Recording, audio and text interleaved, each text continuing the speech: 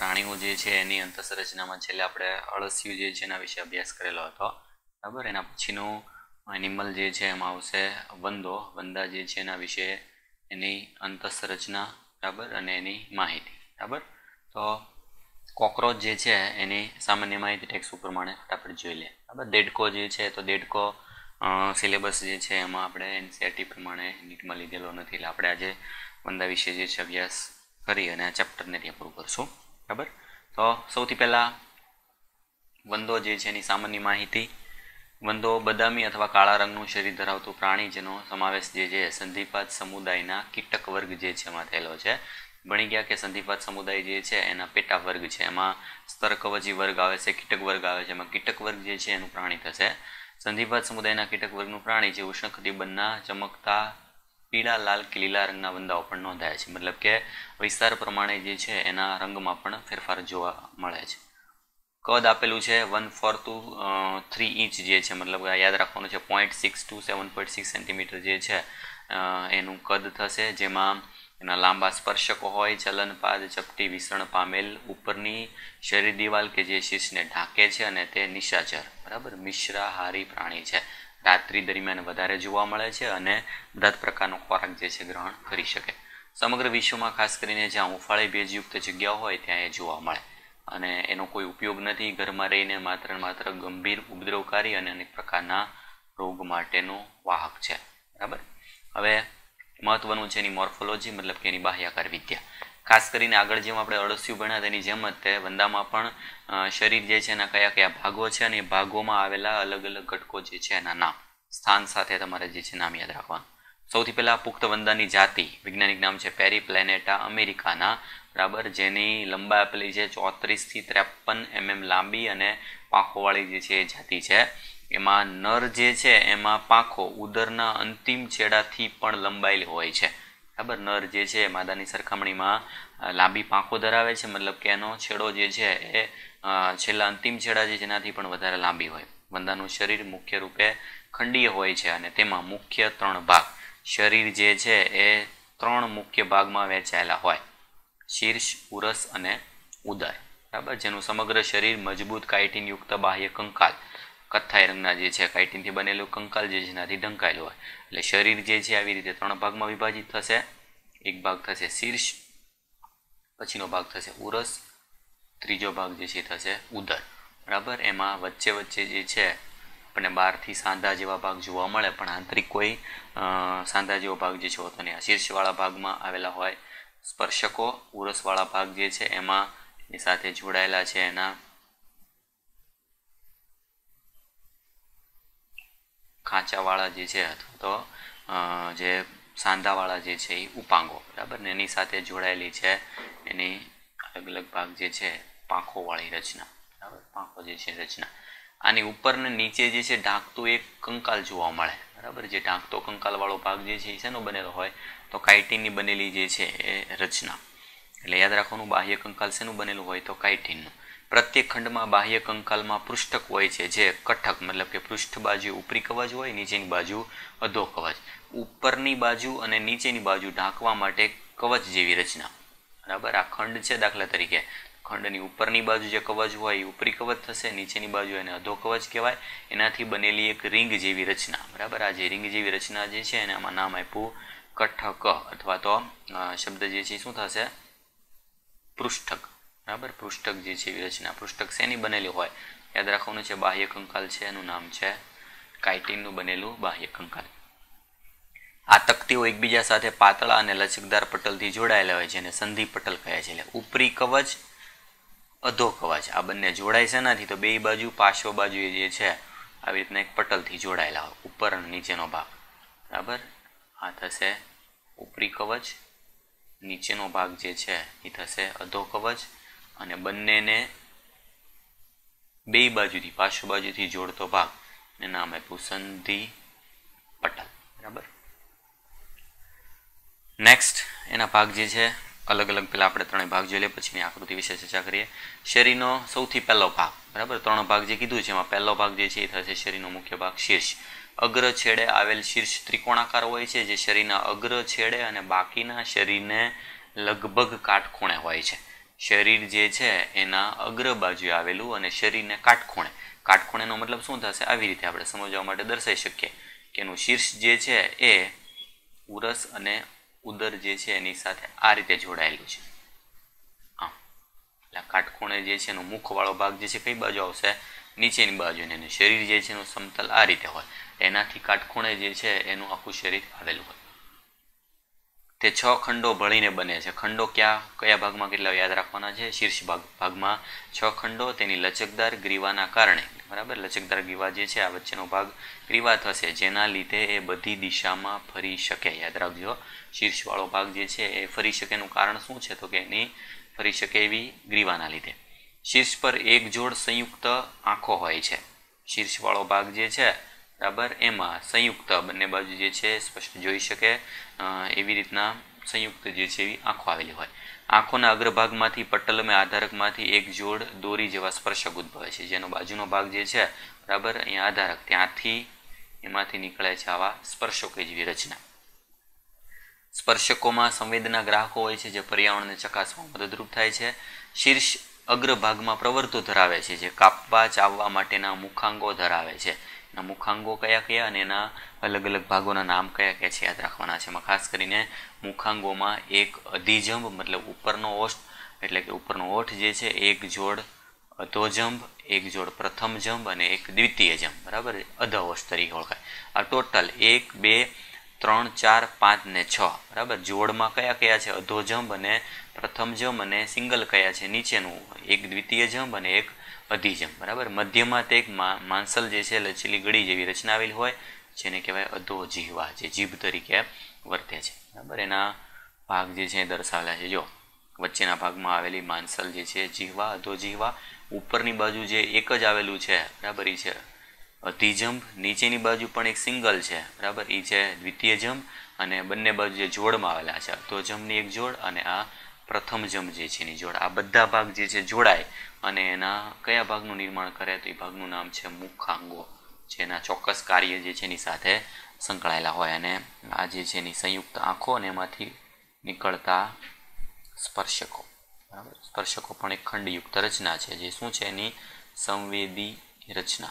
જેમાંથી અલગ અલગ ઘટકો માટેની સંવેદી રચના જે છે એમાં આવેલી છે. બરાબર? એટલે આ ભાગ જે છે એમાં સંયુક્ત આંખો અને એમાંથી નીકળતા તંતુમય સ્પર્શક. આ થઈ ગયું શીર્ષ ભાગ. પછીનો બીજો મુખ્ય ભાગ જે છે થશે ઉરસ. ઉરસમાં કુલ પેલા ભાગ કેટલા તો ટોટલ ત્રણ. ત્રણ ભાગમાં પૂર્વ ઉરસ, મધ્ય ઉરસ અને પશુ ઉરસ. બરાબર? આમાં કેટલા ખંડો હતા? શીર્ષમાં છ ખંડો. બરાબર? એવી રીતે ઉરસવાળો ભાગ જે છે, ઉરસવાળા ભાગમાં ટોટલ બરાબર? શીર્ષવાળા ભાગ જે છે, એની પછી ઉરસમાં ટોટલ ત્રણ ભાગ આવેલા હોય. પહેલો, બીજો અને ત્રીજો. પહેલો ભાગ જે છે, એને નામે પૂર્વ ઉરસ મધ્ય ભાગ જે છે, મધ્ય ઉરસ અને લાસ્ટ પશુ ઉરસ શીર્ષ ઉરસના પૂર્વ ઉરસ સાથે નાના પ્રવરથી જોડાયેલા હોય. જો, શીર્ષવાળો ભાગ પૂર્વ ઉરસ સાથે સંપર્કમાં હોય, એક પ્રવર્ધમય રચના જેને આપણે ગ્રીવા તરીકે પણ ઓળખી શકીએ જે ગ્રીવા કહે છે, પ્રત્યેક ઉરસમાં ખંડોમાં, ખાસ ખંડોમાં એક એક જોડ ચલનપાદ એટલે કે એના ઉપાંગો આવેલા છે, પાંખોની પ્રથમ જોડ. જો, સૌથી પહેલાં તો ત્રણેયમાં આવેલા છે, સાંધાવાળા ઉપાંગો. એટલે કેટલા હોય ટોટલ? ત્રણ જોડ. પૂર્વરસ મધ્યવરસ અને પશુરસ ત્રણેય જે છે એમાં એક એક જોડ એટલે ટોટલ કેટલા? તો કે એમાં ત્રણ જોડ સાંધાવાળા ઉપાંગો આવેલા છે. બરાબર? ને સાંધાવાળા ઉપાંગો જે છે એ દરેક કયા ભાગમાં જોડાયેલા છે? તો માત્ર ને માત્ર જે છે ઉરસવાળા ભાગ. બરાબર? શીર્ષ કે ઉદર જે છે એમાં એનું જોડાણ નથી. ઉપરાંત, પ્રત્યેક જે છે એમાં ચલનપાદ ઉપરાંત પાંખો જે છે એની પ્રથમ જોડ, મતલબ એમાં બે જોડ પાંખ આવેલી છે. પ્રથમ જોડ મધ્યવરસમાંથી ઉદ્ભવે છે અને બીજી જોડ જે છે એ પશુવરસમાંથી ઉદ્ભવે છે. આકૃતિ જો આગળ લે તમને ખ્યાલ આવશે. જો મેઇન ભાગ તો કે સૌથી પહેલો ભાગ. આ ઉરસ જે છે એનો પહેલો ભાગ, પહેલા ભાગમાંથી એક જે છે પાંખ ઉદ્ભવે છે. જોડમાં હોય, એક દર્શાવેલી છે. કઈ છે? ટેગમીના અગ્રપાંખ અથવા પ્રાવર પંખ બરાબર? અને પૂર્વરસ જે છે પછીનો ભાગ જે સેકન્ડ ભાગ મધ્યવરસ અને ત્રીજો ભાગ જે છે થશે પશ્વવરસ બરાબર? પશ્વવરસ જે છે એની સાથે એક પાંખ જે છે જોડાયેલી છે. એનું નામ છે પશ્વપાંખ. એટલે જો, એના પછી પ્રથમ જોડ જે છે મધ્યવરસમાંથી અને બીજી જોડ જે છે પશુરસમાંથી ઉદ્ભવે છે. અગ્ર પાંખો મધ્ય ઉરસીય, એટલે એનો મધ્ય ભાગ જે છે એમાંથી ઉદ્ભવતી પ્રાવર પંખ કહે છે તે અપારદર્શક યાદ રાખવાનું ઘેરા રંગની હોય અને ચરમીય, બરાબર? મતલબ કે ઉપરની બાજુ ખાલી ઢાંકવા માટેનું આવરણ છે. વિશ્રમી અવસ્થામાં તે પશ્વ પાંખ જે છે એને ઢાંકે છે. જ્યારે પશ્વ પાંખ જે છે એ ક્યાં આવેલી છે? તો કે જે પશ્વ ઉરસવાળા ભાગમાં જે પારદર્શક છે, આ યાદ રાખવાનો છે, તફાવત ઇમ્પોર્ટન્ટ છે. પહેલી પાંખ જે છે એ છે અપારદર્શક, મતલબ ઘેરા રંગની શરીરને માત્ર ઢાંકવામાં વપરાય અને જે બીજી પાંખ જે છે પારદર્શક, પટલમય. બરાબર? એમાં ખાંચા પણ હોય અને ઉડવા માટે ઉપયોગી છે. જો આમાં તમે ખ્યાલ આવશે, વચ્ચેના ભાગમાં ખાંચાયુક્ત હોય. ખાંચાયુક્તવાળા ભાગ જે છે, આ ભાગ પારદર્શક છે. બરાબર અને ઉડવા માટે ઉપયોગી ઉડવા માટે ઉપયોગી. કઈ ભાગ? તો કે પશુ ભાગ. જ્યારે ટેગમીના પ્રાવર પંખ જે છે, કેવી છે? તો કે ખાંચા વિહીન. એમાં કોઈ ખાંચા નથી અને માત્ર ને માત્ર શું છે? તો કે શરીરને વિશ્રામી સ્થિતિમાં ઢાંકે છે. વિશ્રામી સ્થિતિમાં ઢાંકે છે. કારણ કે જ્યારે ઉડવાની સ્થિતિમાં હોય, ત્યારે એમાં કયા પાંખો હોય? તો કે પશુ પાંખ જે છે ઉપયોગ થતો હોય. પશુરસ સાથે અને મધ્યવરસ સાથે સંકળાયેલી રચના. બરાબર? કયો ભાગ? કાર્ય શું છે અને કઈ ભાગ સાથે સંકળાયેલી છે યાદ રાખવાનું. ઉપરાંત ઉપાંગો તમે જુઓ તો ઉપાંગોમાં ટોટલ જે છે ખાંચા જોવા મળે. શરૂઆતનો ભાગ, પછી ફરીથી પાછો ભાગ જે છે ખાંચ જોવા મળે, ફરીથી પાછો ભાગ અને આવી રીતના. ખાંચવાળા, સાંધાવાળા જે છે ટોટલ ત્રણ જોડ, જે ત્રણે ત્રણ ઉરસવાળા ભાગ સાથે સંકળાયેલા છે. બરાબર? નેક્સ્ટ એના પછી, બરાબર? ત્રીજો ભાગ. શરીરનો ત્રીજો ભાગ એ થશે ઉદર. ઉદરવાળા ભાગ તો નર અને માદા બંનેમાં ટોટલ દસ ખંડો આવેલા છે. એટલે આમ જોઈએ તો ટોટલ ખંડો કેટલા થાય? શીર્ષના છ, બરાબર? ઉરસ જે છે એના ત્રણ અને ઉદર જે છે એના દસ. આવી રીતે દસ, ત્રણ, તેર ને છ. એટલે ટોટલ કેટલા થાય? ઓગણીસ ખંડો જે છે એનું આખું શરીર એનું બનેલું છે. એ દસ દસમાં માદા અને નરમાં ફરક શું હોય તો કે માદામાં સાતમું અધો કવચ નવતલ આકારનું અને આઠમા અને નવમાં અધો કવચ સાથે મળીને એક જનન કોથળી બનાવે છે. આ ખાસ ઇમ્પોર્ટન્ટ છે. માદા હોય એમાં સાતમું નવતલ આકારનું એટલે હોળી આકારનું, બરાબર? આવી રીતના શેપમાં વળેલું હોય, બરાબર? એનો ખૂણો જે છે બંને બાજુથી સાંકડો હોય. જેના અગ્રભાગમાં માદા જનન છિદ્ર અને શુક્ર સંગ્રાશી છિદ્ર તથા ગુંદર ગ્રંથિઓ આવેલી છે. આ જે છે માત્ર માદા જે છે એમાં આવેલી ખાસિયત ધરાવતી રચનાઓ. સાતમું કવચ નવતલ આકારનું અને આઠમા, નવમાં કવચ મળીને શેની રચના કરે તો? જનન કોથળી. એના પછી જ્યારે એની સરખામણીમાં નર જે છે એમાં જનન કોથળી અથવા ચેમ્બર ઉદરના અંતિમ ભાગમાં આવેલા છે. જો આગળ જનન કોથળીવાળો ભાગ શેમાં હતો? કે આઠમું ને નવમું મળીને બનાવે છે. જ્યારે આમાં અંતિમ ભાગમાં મતલબ દસમો ખંડ દસમો ખંડ કયો? ઉદરનો એમાં આવેલું છે. જે પૃષ્ઠ બાજુએ નવ અને દસમાં ઉપરી કવચ અને વક્ષ બાજુએ નવમાં અધો કવચ વડે ટંકાયેલો હોય છે. પૃષ્ઠ બાજુએ તે મળદ્વાર બરાબર? મળદ્વાર જે છે, પૃષ્ઠ ઉપરની બાજુ આવેલું છે અને જે વક્ષ બાજુએ નર, જનન, છિદ્ર. નર, જનન, છિદ્રનું સ્થાન થશે વક્ષ બાજુએ. ને એમાં જનન દ્રઢકો આવેલા છે. જનન દ્રઢકો મતલબ એના જનનાંગની ફરતે આવેલી કાઇટિન યુક્ત જે છે, એક સહાયક પ્રજનન જે છે એવી રચનાઓ. નરમાં ટૂંકી દોરી જેવી જોડમાં પુચ્છકંટિકા આવેલી છે ઇમ્પોર્ટન્ટ નર માટેની માત્ર જે છે, ખાસિયત ધરાવતો ભાગ પુચ્છકંટિકા. બરાબર? જેનો માદામાં અભાવ હોય છે. ઇમ્પોર્ટન્ટ માદા અને નર જે છે એને જુદા પાડવા માટેની રચના કઈ છે? પુચ્છ કંટિકા આ પુચ્છ કંટિકા વાળો ભાગ ભેગો ન થાય, પુચ્છશૂળ. બીજો ભાગ જે છે, કયો આવશે? પુચ્છશૂળ. પુચ્છશૂળ અને પુચ્છકંટિકા. આ શેમાં આવશે? તો કે માત્ર નરમાં હાજર. જ્યારે આ પુચ્છશૂળ જે છે, બંને જાતિમાં હાજર. તફાવત બીજો પણ શું છે? તો કે આ જે છે એ પ્રજનન અંગ છે. આ ધ્વનિગ્રાહી અંગ છે. બરાબર? ધ્વનિગ્રાહી અંગ સાંભળવા માટેનું જવાબદાર અંગ જે પાછળની બાજુ આવેલું છે. જો આકૃતિમાં જોઈએ, આ ભાગ જે છે શું છે? પુચ્છશૂળ. પુચ્છશૂળ બંને જાતિમાં હાજર. જ્યારે એની સરખામણીમાં પુચ્છ કંટિકા જે છે, એ માત્ર ને માત્ર નરમાં હાજર હોય. બરાબર? તંતુમય પુચ્છશૂળ.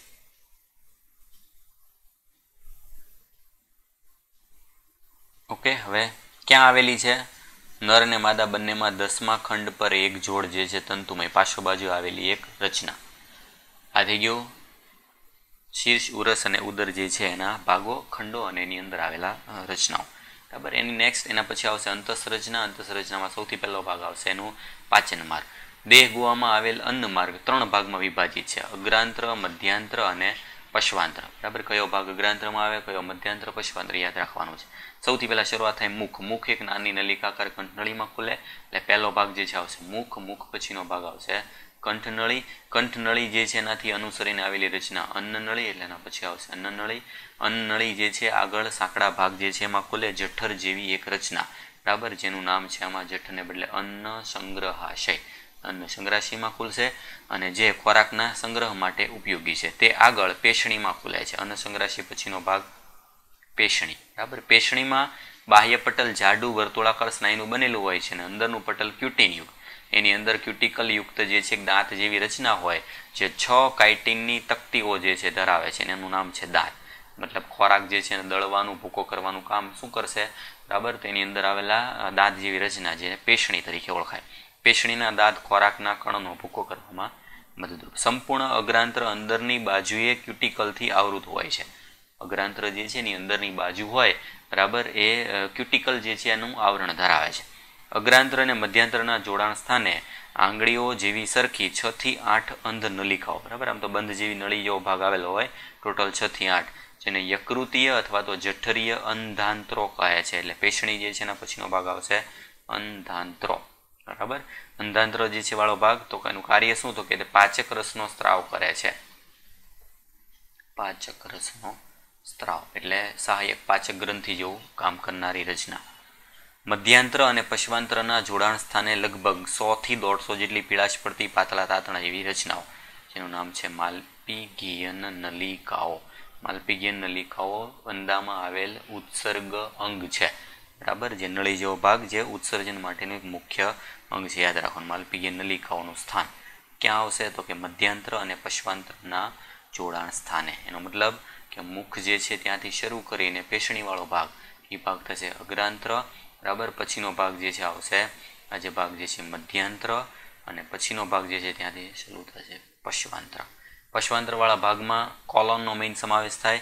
બરાબર? એનું કાર્ય શું? જો માલપીકી નલિકા. તો તે હિમોલિમ્ફમાંથી, હિમોલિમ્ફ શબ્દ છે, યાદ રાખજો. હિમોગ્લોબિન જે છે કે જે લિમ્ફ સ્વરૂપ, મતલબ રુધિર અને લસિકા બંનેમાંથી, કારણ કે આમાં રુધિર કોટર હોય રુધિર હોય, ખુલ્લું તંત્ર હોય, એમાંથી જે છે, નકામા દ્રવ્યો જે છે, એના શોષણ કરીને એનો શરીરની બહાર નિકાલ કરવામાં મદદ કરે. પશ્વાંત્ર મધ્યાંતરથી સહેજ પોળું હોય છે, તેમાં ત્રણ ભાગ. બરાબર? શેષાંત્ર, કોલોન અને મળાશય. બરાબર? આટલા ભાગ જે છે એમાં રૂપાંતરિત. મળાશય જે છે, મળદ્વાર દ્વારા બહારની બાજુ ખુલે છે. ત્યાંથી છેલ્લો ભાગ આવશે મળદ્વાર. આ રીતે મુખ અને છેડે જે છે મળદ્વાર બંને ધરાવતું સંપૂર્ણ પાચન માર્ગ ધરાવે છે અને આથી ગઈ એની બરાબર ક્રમશઃ બધા અંગોની રચના. બરાબર આપણે જો કંઠનળી લાળ ગ્રંથિ જે છે જોડમાં આવેલી છે, યાદ રાખજો. વચ્ચેનો ભાગ જે છે એ છે લાળ ગ્રંથિ અને બંને બાજુ ભાગ જે છે આ બંને ભાગ થશે લાળ ગ્રંથિ. વચ્ચેના ભાગમાં આવશે લાળ સંગ્રહાશય. લાળનો સંગ્રહ કરવા માટે એમાં બંને સાઈડ એટલે જોડમાં આવેલું હોય લાળ સંગ્રહાશય. પછીનો ભાગ જે છે આવશે આ અન્નનળી અહીં સુધીનો ભાગ. આ થશે અન્ન સંગ્રહાશય. પેશણીવાળો ભાગ, બરાબર, જેમાં છ કાઇટિન જે છે, યુક્ત દાંત આવેલા હોય, બરાબર, ખોરાકને કાપવાની રચના. પછીનો ભાગ જે છે, ત્યાંથી શરૂ થઈ જાય મધ્યાંત્ર, જેમાં આવેલા યકૃત અંધાંત્રો. બરાબર, શું છે? તો કે પાચક ગ્રંથિ. બરાબર, આ ભાગ થશે મધ્યાંત્ર. મધ્યાંત્ર પૂરો થાય અને પશ્વાંત્ર શરૂ થાય. એના જોડાણ સ્થાને આવેલી રચના. એનું નામ છે માલપિગિયન નલિકાઓ. શું છે એક પ્રકારનું ઉત્સર્ગ અંગ? ત્યાંથી શરૂ થાય શેષાંત્ર. શેષાંત્રથી મળાશિયા સુધીનો ભાગ જે છે થશે પશ્વાંત્ર. શેષાંત્ર, કોલોન, બરાબર? કોલોનવાળો ભાગ અને છેલ્લે મળાશી તથા છેલ્લે મળદ્વાર. આ થઈ ગયું પાચન માર્ગ. નેક્સ્ટ બીજો જે છે ભાગ થશે એનો રુધિરાભીષણ તંત્ર. પ્રકાર, ખુલ્લા પ્રકારનો. ખુલ્લો પ્રકારનો મતલબ કે એમાં શું હોય તો કે રુધિર, ગુહા અથવા રુધિર, કોટર, હાજર. કેશિકાઓ જે એનો અભાવ હોય. તેમાં રુધિર વાહિનીઓ અલ્પ વિકસિત છે. અલ્પ વિકસિત અથવા ગેરહાજર અને રુધિર જે છે, રુધિર ગુહામાં ખુલે છે. તેના અંતરંગ અંગો જે રુધિર ગુહામાં આવેલા છે, તે રુધિર એટલે કે હિમોલિમ્ફમાં તરતા હોય છે. અંગો બધા રુધિરમાં તરતા હોય એને કહેવાય જે છે ખુલ્લું રુધિર કોટર. હિમોલિમ્ફ રંગવિહીન પ્લાઝમા અને હિમોસાઇટ રુધિર રસ અને રુધિર કોષો ધરાવે છે. વંદાનું હૃદય એક લાંબી નળી જેવી રચના છે જે ઉરસ અને ઉદરની મધ્ય પૃષ્ઠ રેખાએ આવેલું છે. પૃષ્ઠ બાજુએ આવેલું છે મધ્ય ભાગે બરાબર? ને યાદ રાખજો કે હૃદય જે છે એ હૃદખંડોમાં વિભેદિત થયેલો હોય. આવા ટોટલ ખંડો જે છે એમાં આવશે તેર. ઉરસ જે છે એના ત્રણ અને ઉદરના દસે દસ. આમાં દર્શાવ્યા છે. ટોટલ કેટલા થશે? વંદામાં તેર ખંડોયુક્ત જે છે હૃદય આવેલું હોય. એની ખાસિયત હૃદય જે છે એમાં કેટલા હોય તો કે દરેક ખંડનું એક સેપરેટ એવા તેર ખંડો જે છે ધરાવતું હૃદય આવેલું હોય અને બંને બાજુએ મુખિકા આવેલી હોય છે, જે રુધિર કોટરમાંથી હૃદય મુખિકા દ્વારા પ્રવેશે. આ બંને ભાગ, બરાબર? જ્યાં જ્યાં હૃદય જે છે પૂરા થતો હોય, એના છેડાના ભાગે આવા એક વાલ્વ જેવો ભાગ, એ થશે મુખિકા. બરાબર? એનું સર્ક્યુલેશન જે છે આ રીતે થશે. બરાબર? રુધિર જે છે એનું સર્ક્યુલેશન મતલબ કે વંદો જે છે, એમાં એનો કોટર જે છે ટોટલ ત્રણ હોય. ઉપરની બાજુ જે છે, પૃષ્ઠ કોટર બાજુ હોય, નીચેની બાજુ વક્ષ કોટર હોય, અંદરની બાજુ અંતરંગ જે છે, અંગો બધા આવેલા હોય. બરાબર? અહીંયા બધા હૃદય જે છે, ભાગ ગોઠવાયેલા હોય છે દર્શાલા છે તેર ખંડોયુક્ત આગળના ભાગમાં મહાધમની, બરાબર? અહીંથી રુધિર જે છે, આવી રીતના જશે. ત્યાંથી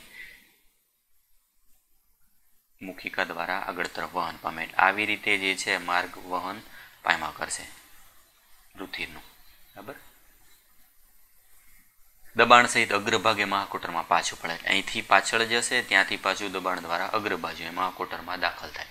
રીતે વંદા જે છે, એમાં વંદાનું હૃદય જે છે, યાદ રાખવાનું છે, તેર ખંડોયુક્ત ઉરસમાં ત્રણ અને ઉદરમાં દસ ખંડોયુક્ત હૃદય. અને બંને છેડે ભાગ જે છે, મુખિકા અને દરેક દરેક જે છે, એમાં એના સંકોચન કરવા માટે આવેલા પક્ષ સંસ્નાયુ બરાબર? હૃદયના ખંડોના સંકોચન કરવા માટે દરેક ખંડમાં આવેલા હોય આવા પક્ષ સંસ્નાયુ ત્યારબાદ પછીનો ભાગ થશે શ્વસન તંત્ર શ્વસન તંત્ર સ્વાખિત શ્વસન નળીઓનું બનેલું હોય. શ્વાસ નળીકાઓનું જાળો જે શ્વાસ નળીની દસ જોડ જે છે દ્વારા નાના છિદ્રથી બહાર ખુલે છે, જેને શ્વસન છિદ્ર કહે છે. યાદ રાખજો, એમાં દસ જોડ શ્વસન છિદ્રો આવેલા છે. દસ જોડ શ્વસન છિદ્રો દ્વારા બહાર ખુલે છે. જે શરીરની પાર્શ્વ બાજુ એટલે બંને સાઈડ આવી રીતે આપણે દર્શાવી શકીએ. બે સાઈડ જે છે, આવેલા હોય શ્વસન છિદ્રો. બરાબર? પાતળી શાખિત નલિકાઓ. બરાબર? શ્વસન નલિકાઓ, સૂક્ષ્મ નલિકાઓની વિભાજિત થાય છે અને હવામાંથી ઓક્સિજનનું બધા ભાગો તરફ જે છે વહન કરે છે. શ્વસન છિદ્રોની ખુલવાની ક્રિયા વાલ્વ દ્વારા નિયંત્રિત થાય છે. સૂક્ષ્મ વાહિકાઓમાં પ્રસરણ વાત વિનિમય થાય છે. એટલે આવી રીતે જુઓ, દાખલા તરીકે વંદો જે છે, એમાં આવી રીતે છિદ્ર છે બંને સાઈડ. છિદ્રમાંથી મેઇન દાખલ થાય મુખ્ય નળી. નળી જે છે, આગળ જતા પેટા વિભાગમાં વિભાજિત થાય. એનાથી નાનો વિભાગ, એનાથી નાનો વિભાગ આવી રીતે વિભાજિત બધી રચના જે છે શરીરના અંતરંગીય બરાબર? મતલબ મુક્ત રુધિર. મુક્ત રુધિર જે છે એમાં દાખલ થશે. અહીંથી દાખલ થશે ઓટુ ઓટુ વપરાશે. સીઓ જે છે એનો બહાર વહન થશે. એટલે આ શું કહેવાય? શાખિત શ્વાસ નળીઓ ઓનું જાળું. એનાથી બનેલું શ્વસન તંત્ર જે છે આવેલું હોય. અને એનું નિયમન થાય છે આવા દસ જોડ જે છે શ્વસન છિદ્ર દ્વારા. નેક્સ્ટ એના પછી આવશે ઉત્સર્જન તંત્ર. તો આવી ગયું આગળ માલપીય નલિકાઓ. પ્રત્યેક નલિકા જે છે એ ગ્રંથિમય અને પક્ષમલ કોષોથી આવૃત હોય.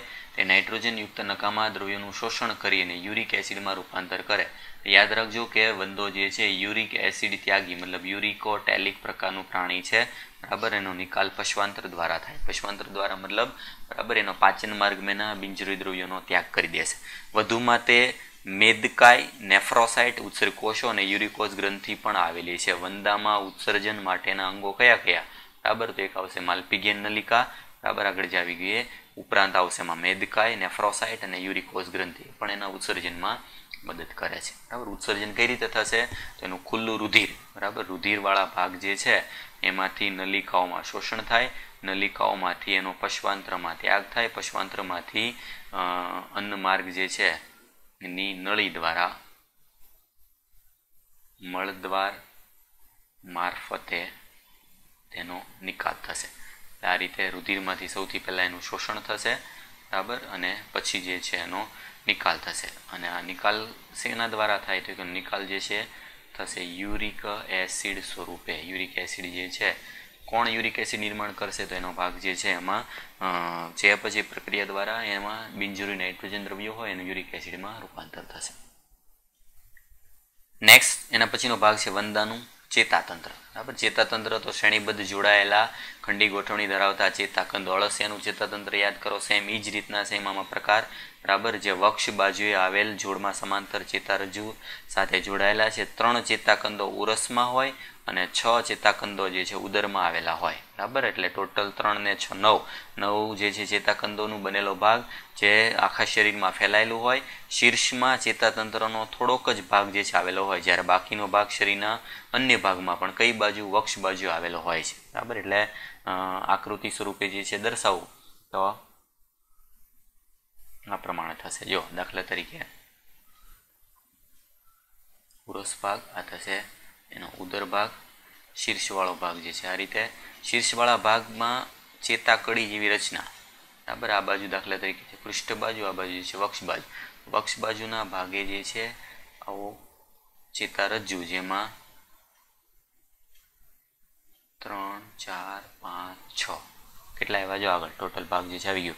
એમાં વક્ષ બાજુએ તો છ ચેતાકંદો અને ટોટલ ત્રણ જે છે, ઉરસમાં. એટલે ટોટલ નવ ઉરસ જે છે, એમાં ત્રણ બરાબર? ઉરસમાં થશે ત્રણ અને ઉદર જે છે એમાં છ.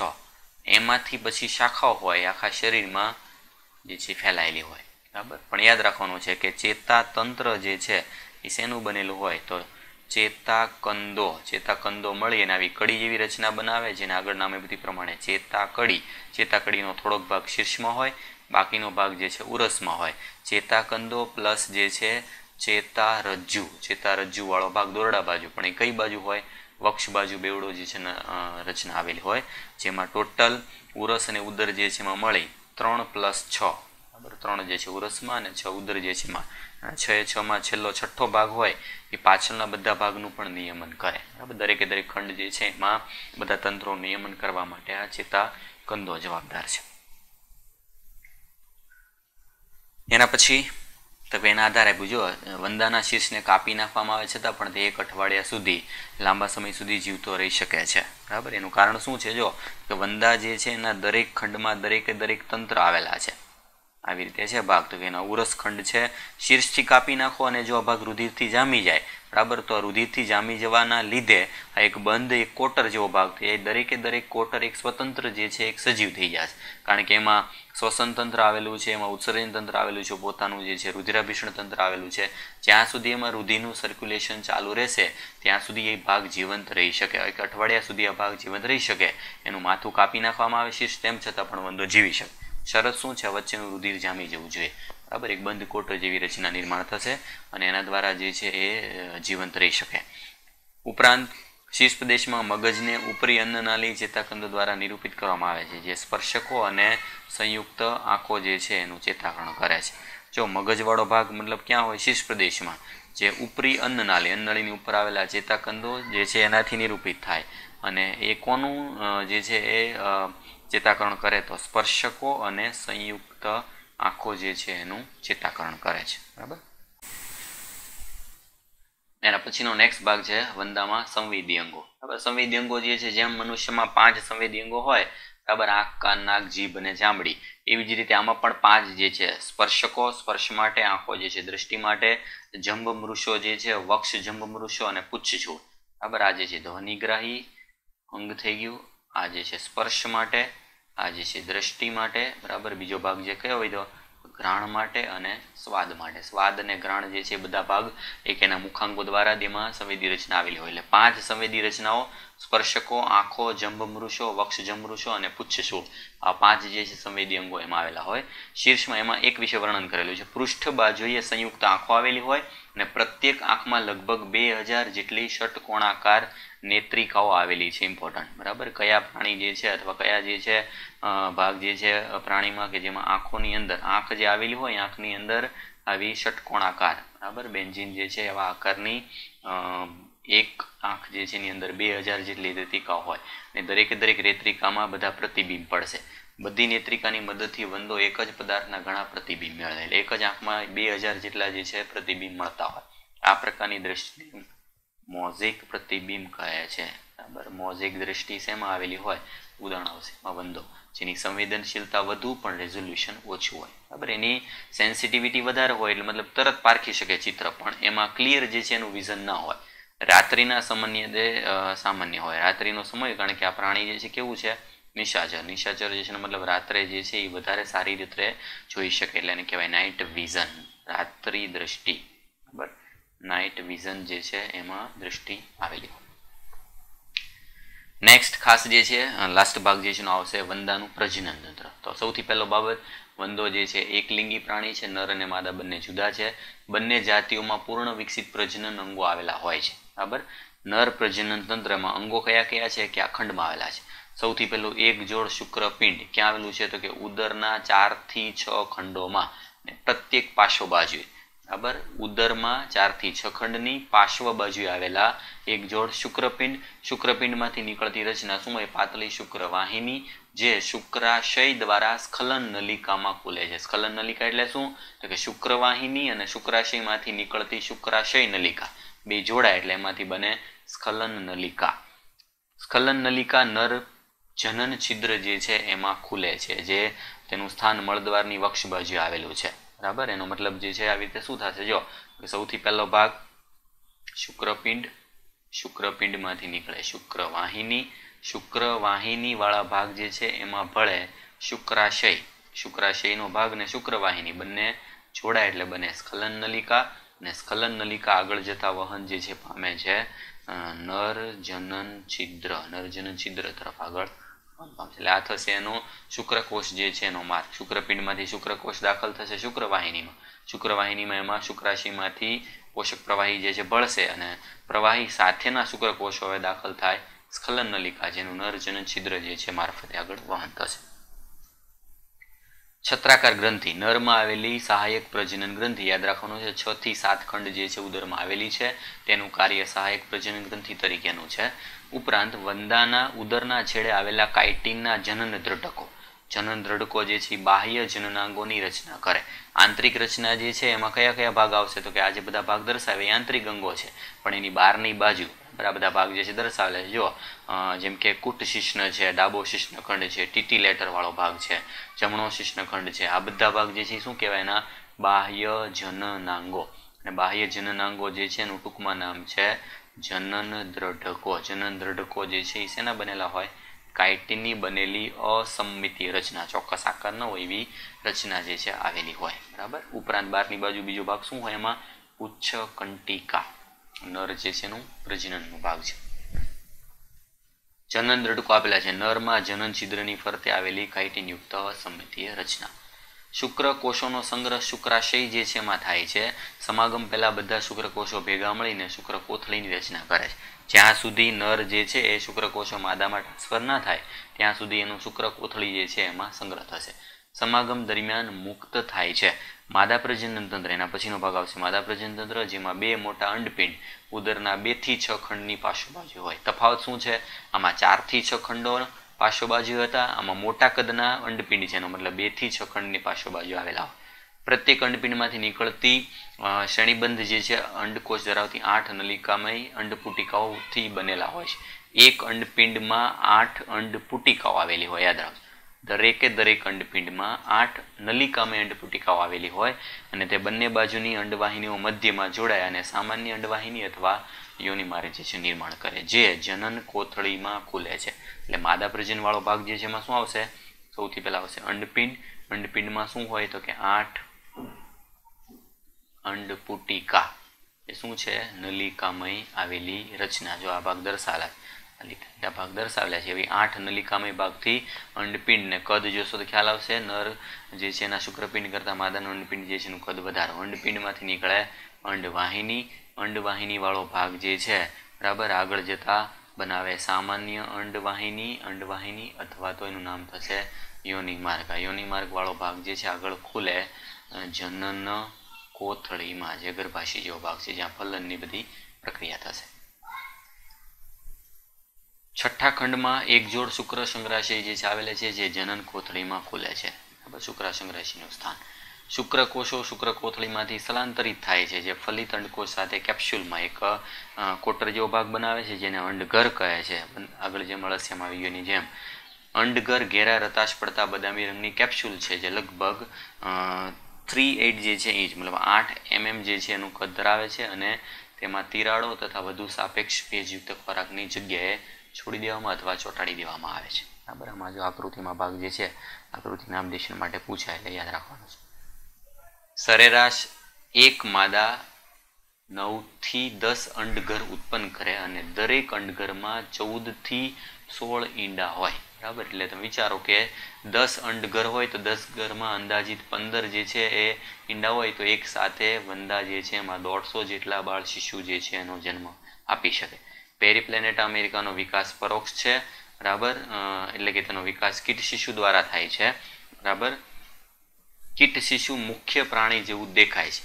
બરાબર? અને કીટ શિશુ લગભગ તેર વખત નિર્મોજન પામે, એટલે ઉપરની જે છે ચામડી ગુમાવે અને એના દ્વારા એ પુખ્ત પ્રાણી જેવાનો દેખાવ ધારણ કરે. અંતિમ કીટ શિશુ જે છે પહેલાંની અવસ્થામાં પક્ષતલ્ય, પાંખ જેવો ભાગ જે છે દેખાતો હોય છે, માત્ર પુખ્ત વંદામાં હોય છે, પણ માત્ર પુખ્ત વંદામાં પાંખો. પાંખોની જગ્યાએ જે પહેલાંનું સ્વરૂપ છે એમાં શું હોય? પક્ષતલ્ય. વંદાની ઘણી બધી જાતિઓ જંગલી હોય છે ને તો એક આર્થિક મહત્વ નથી. બરાબર? મેઇન જે છે મનુષ્ય માટે એક ઉપદ્રવી છે, ખોરાક જે છે બગાડનાર અને દુર્ગંધયુક્ત દ્રવ્યો જે છે ઉત્પન્ન કરે, જેનાથી રોગો ફેલાય છે. બરાબર? એટલે વંદો જે છે એના ખાસ બધા ભાગ, એના સ્થાનવાળા ભાગ, બરાબર? અને એની સાથે સંકળાયેલી બાબતો બરાબર? આના પછી આપણે આગળ જે છે next unit chapter number eight જે છે, એનો અભ્યાસ કરશું.